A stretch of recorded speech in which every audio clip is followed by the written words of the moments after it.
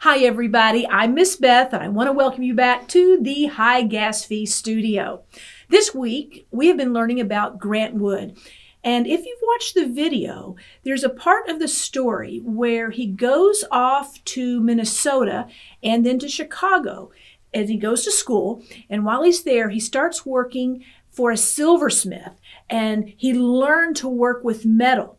And this guy called him who owned a hotel and wanted him to make a chandelier. But do you remember what kind of chandelier he wanted him to make? Yeah, he wanted him to make one that looked like corn. And so I want you to do something very similar.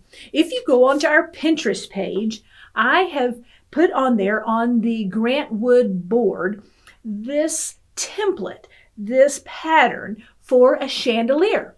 And so you can print this off and then you can add whatever you want to add to make your own chandelier. Maybe it's a monkey chandelier. Maybe it's an airplane chandelier. Maybe it's a butterfly chandelier. You can do whatever you want to do.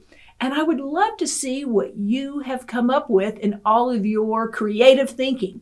So feel free to email us a picture of your very special chandelier at info at higasfy.com or you can go ahead and post it to the Facebook page, High Fee's Facebook page. But make sure you ask your parents before you do that.